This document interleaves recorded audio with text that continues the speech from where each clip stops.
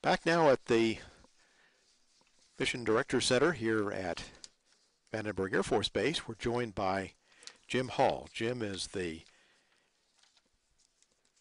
mission manager for the Launch Services Program for the IRIS spacecraft and has been following it uh, throughout its uh, preparations to fly today on the Pegasus XL and has worked a lot of the activities associated with the integration of the uh, spacecraft with the Pegasus. So, Jim, welcome, and um, would like, first of all, perhaps to ask you when did the Launch Services Program actually start becoming involved with IRIS? When was that on our radar screen?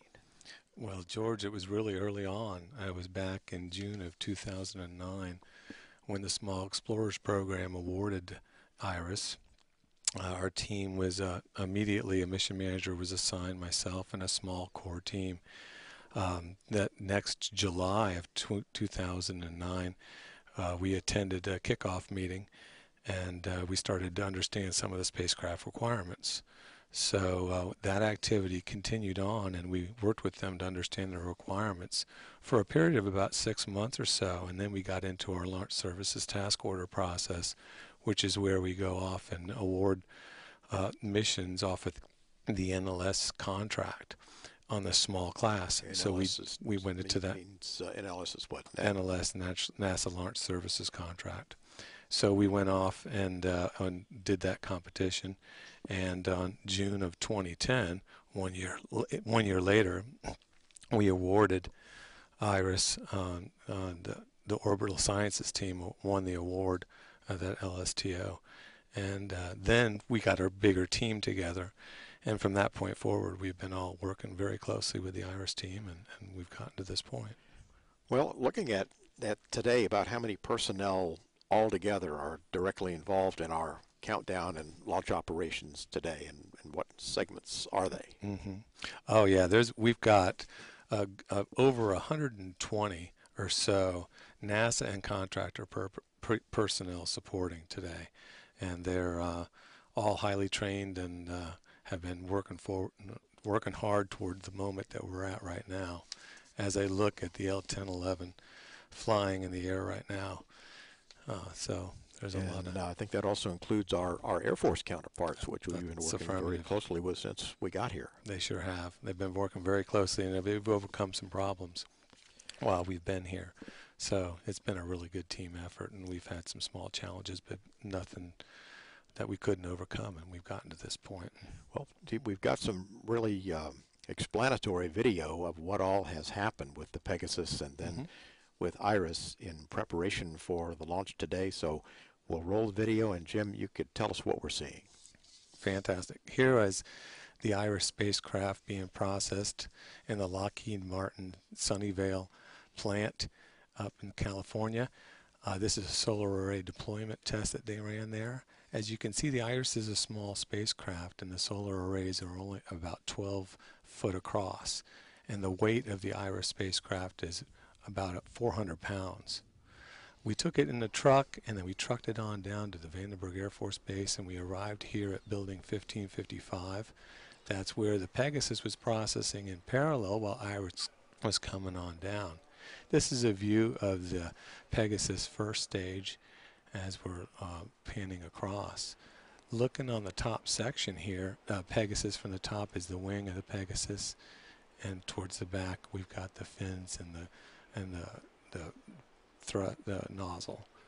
Here's our team. Uh, some of the folks we spent a lot of time testing and getting the Pegasus ready for for uh, the launch, and there's a lot of that testing and a lot of integration. As you can see, some of the test setup hardware there, and the team members getting ready. We ran repeated tests to make sure everything was working right.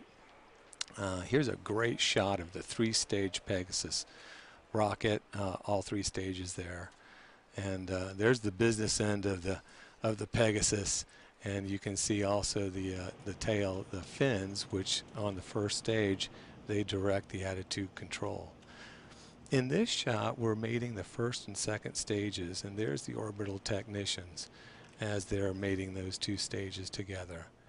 Um, this will be the 42nd uh, launch of the Pegasus system, and we've had a lot of success with this. It's been a great uh, rocket for us. This is a nice shot of the um, the enclosure, the clean enclosure that we have. When the spacecraft arrives, we mate that uh, in that clean enclosure. Uh, speaking of the spacecraft, there it is. And uh, it just arrived, uh, and that was back on April 19th.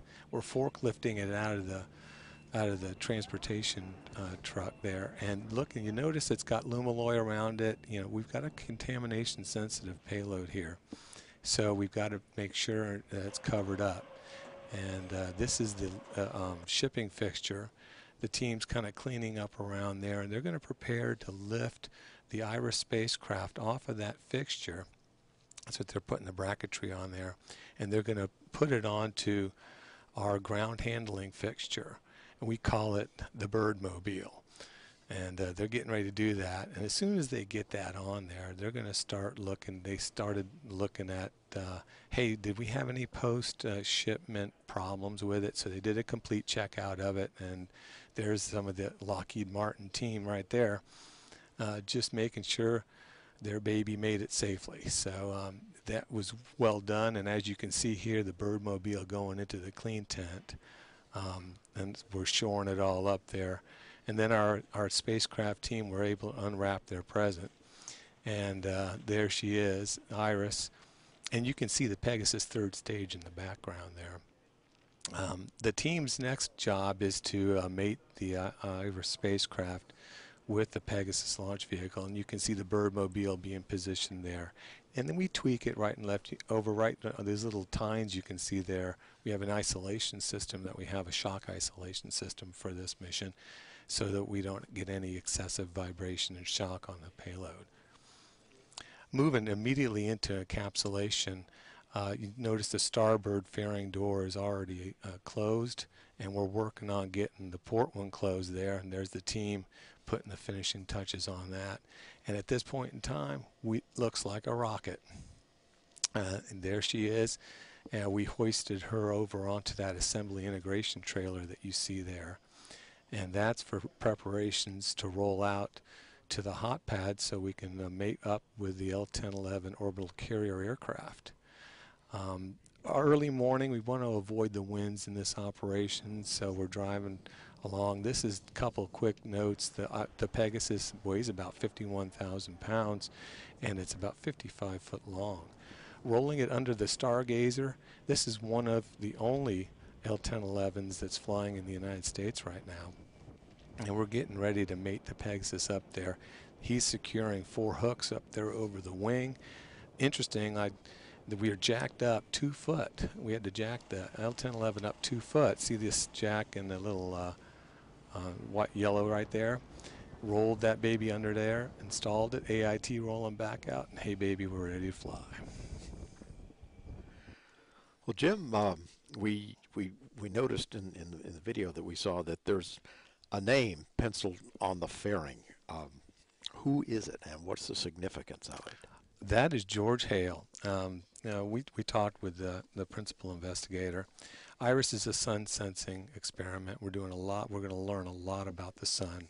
And uh, the team wanted to recognize George Hale lived back and he's in the late 1800s and early 1900s. He was an American solar astronomer and he was a graduate of MIT that was responsible for many solar discoveries. So he also, interestingly, hired and encouraged Edwin Hubble, you know, at the Mount Wilson Observatory. So um, he's, he did all kinds of work. He did work on, uh, on determining that sunspots have a magnetic signature to them. And uh, he also played a central role in developing the California Institute of Technology into one of the leading research centers, research universities. So Jim, thank you very much for uh, talking to us uh, about what we've done to get to this point today and the, the uh, Pegasus and the IRIS spacecraft together now flying along on this uh, L-1011 being ready for launch. So My pleasure. Thanks, Jim, and best of luck tonight. We're all excited and go, go Pegasus and go IRIS. At launch minus 34 minutes, 3 seconds and counting, this is Pegasus Launch Control.